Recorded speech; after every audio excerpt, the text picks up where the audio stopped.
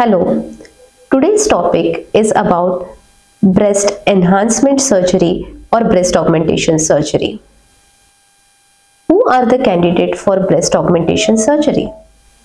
The girls or the ladies who feel that their breast size is smaller as compared to rest of the body who want to enhance the appearance of their breast. Those ladies who have recently lost weight and lost the volume of their breast. Sometimes, even after pregnancy and breastfeeding, few ladies tend to lose the volume of their breast. And if they wish to regain their pre-pregnancy breast size, then again breast enhancement or breast augmentation is good option. Those ladies who are having some kind of surgery due to any disease or cancer are good candidate for breast enhancement surgery. If during the developmental period you are having the smaller size of breast or even the asymmetric breast, then this problem can also be tackled with the breast augmentation surgery. There are two common techniques of breast augmentation. The first one and the very popular technique is breast implants which are also called as silicone breast implants. This is a daycare procedure. That means surgery is done in the morning and by evening or mostly by the next day the patient is discharged home. If you wish to go ahead with the breast implant surgery then I will recommend that you should know more about breast implant, discuss all the pros and cons of this surgery with your doctor before undergoing the surgery.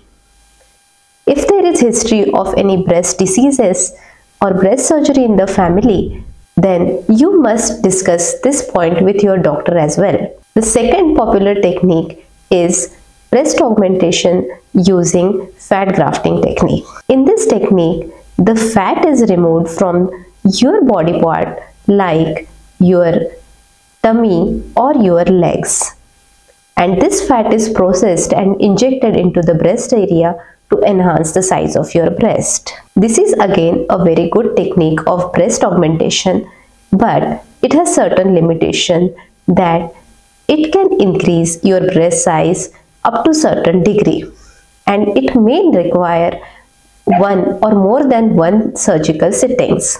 There are certain ladies who are not very comfortable with the idea of implants and if you also feel so then fat grafting is very good option for you. Now let's move to the post-operative part of the surgery. The results of surgery are very dramatic and you can see results immediately after the surgery. After the surgery, you are up and about on your toes and you can do all sort of light activities. Next 2 to 3 days, it is recommended that you do only light activities and indoor movements. If you wish to return to your daily routine and heavy exercises or heavy activities, it is advised that you should start all these activities after 3 weeks of time. It is recommended to wear the supportive garment or the customized bra support for next 6 weeks time.